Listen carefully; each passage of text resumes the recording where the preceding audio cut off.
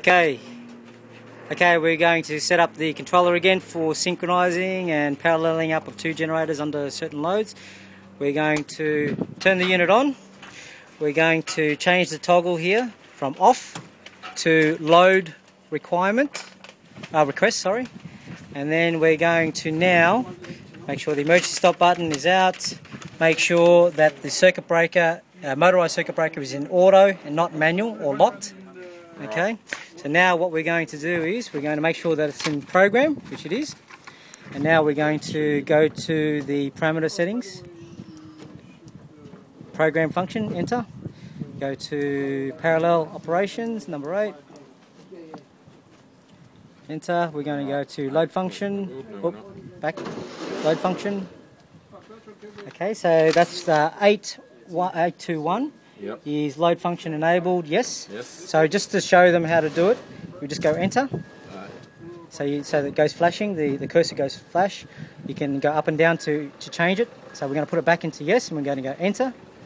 And that records it. And then we go up again to the next parameter. Load function mode, three rotation hours, and that's Yep. correct, that's what we want. So go up again. Master genset address, this is number two, and the other generator is number one. So, so the settings will be correct. Uh, master genset change time, uh, we're going to leave that on 000 as default. Master genset batch hours, we're going to leave that on 0. That function is to do with um, rotating the master uh, 1 and 2 units uh, for uh, having different operations on the control. Next one, activation load threshold. We're going to leave it for training purposes. We're going to leave it on 12.5%. Normally, you would have it probably floating around 70, 80%, depending on uh, the temperature and, and, and other details. Next one, activation load delay. So there's three second delay for that to work. Deactivation load threshold. So normally it's below the the uh, activation threshold, which is for training purposes is 10%. Normally you'd probably have that around 70 or 60%. Um, next, and then the delay is 30 seconds. Initial observe, just uh, leave it at five, and then it should be uh, back to the normal That's it. one again. So basically, you go exit, everything is in. Exit. So go back to that generator screen.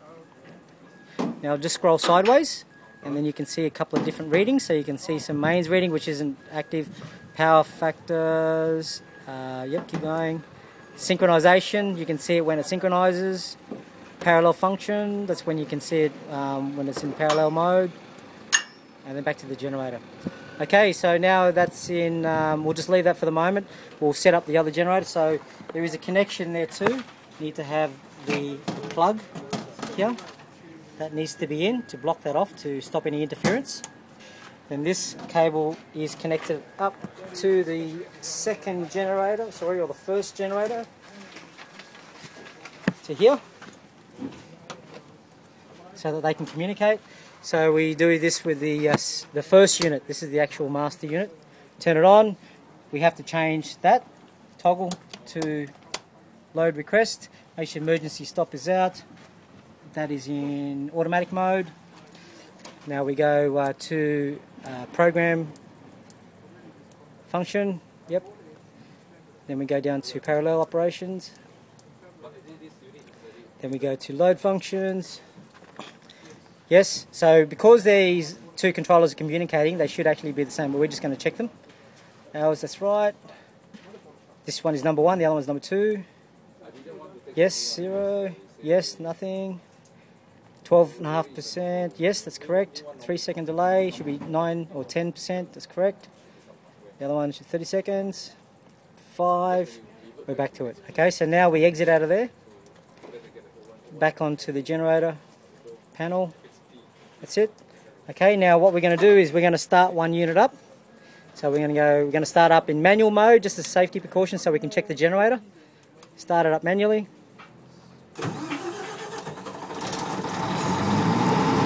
Now we can check the we can check the generator readings. We can also check the engine readings. Okay, so we need to make sure that we get the unit up to speed first before we uh, put it into automatic test. So put it in auto, circuit breaker engages, The unit now is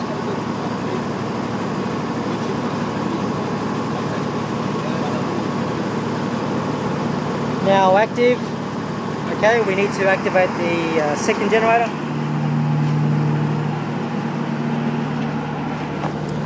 Okay, so we started up in manual.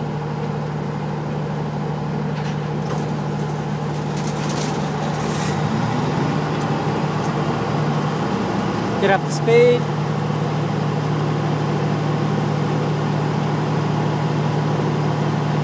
And then we put it in automatic. Circuit breaker shall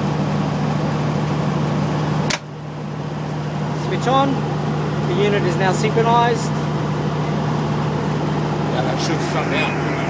So basically now uh, there is no load. Is that right? Yeah. So the second unit, which is this one, this one should shut down. So it'll wait for a while before it senses that there's no load. At the moment it's in load sharing operation.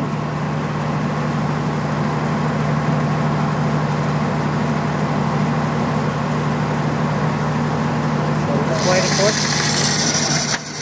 Circuit breaker off. Cooling cycle now.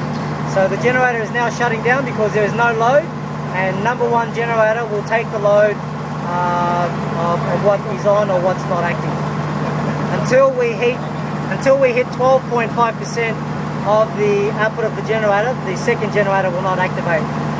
Okay, so now what we're going to do is we're going to wait for this generator to shut down, which at the moment is uh, 93 seconds to shut down for cooling off.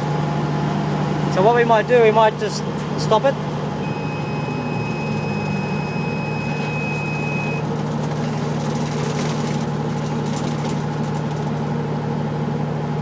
How do I clear it? Was I supposed to do that?